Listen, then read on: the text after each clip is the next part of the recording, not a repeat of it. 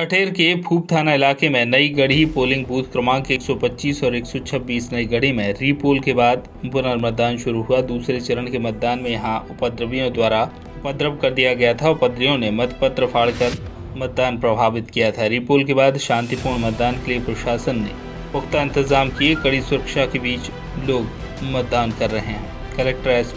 मतदान की मॉनिटरिंग कर रहे हैं टेर एसडीएम समेत तीन थाना प्रभारी मतदान केंद्र पर उपस्थित रहे भारी पुलिस बल पोलिंग बूथ पर मौजूद रहा भिंड से श्याम सुंदर उपाध्याय की रिपोर्ट